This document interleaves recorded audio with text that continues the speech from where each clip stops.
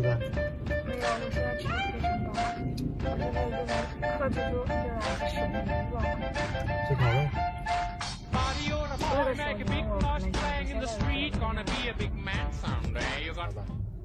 晚上吃多了，我们五点多钟吃了一个披萨，然后八点钟吃了一碗面。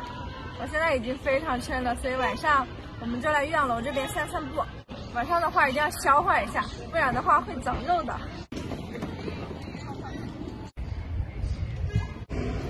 条小吃街，这个叫汴河街，只有吃饱的时候在这里来逛，然后才不会想吃东西。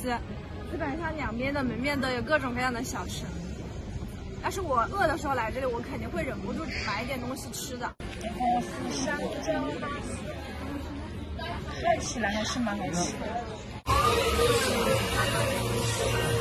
有什么想吃的就是臭豆腐，一直想吃，但是一直不敢吃。在这里闻这个味道。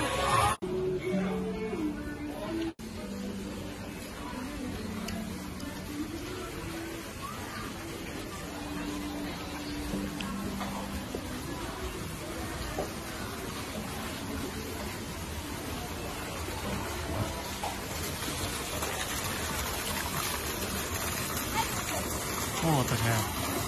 因为你带崽了，你就会要，他就会让你给他买这个。这品种不一样了。看没有，以后就是带崽，就是以后这就是我们带崽的画面。小朋友好像有两岁啊。嗯，他买了鱼食，就正正在喂那个小鱼。小龙哥说买一包鱼食来喂一下。这个是五块钱一包的。我今天体验一下喂鱼的。我也没体验过了，第一次嘛。他们都在那边凑，把他们吸引过来。抢鱼，抢鱼了！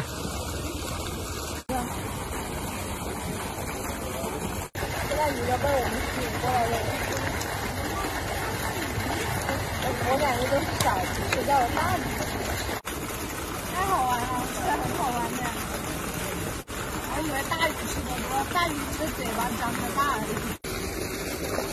你喂到它口里去了，好玩吧？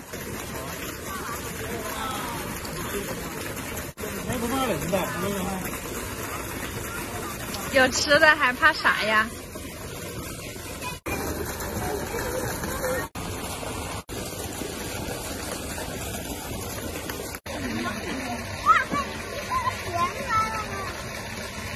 这一头还是比较冷清，基本上没什么人，然后那个商铺也都没怎么开。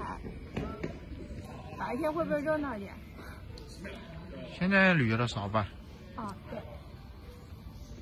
我们从这边穿过去，旁边就是那个洞庭湖，我们去那边转一下。那边有那种紫色的光、红色的光的，都是夜钓的，晚上看不见。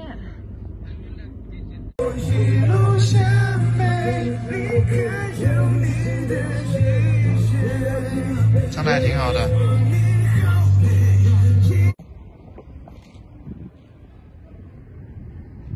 逛了有一个小时了，现在准备回家喽。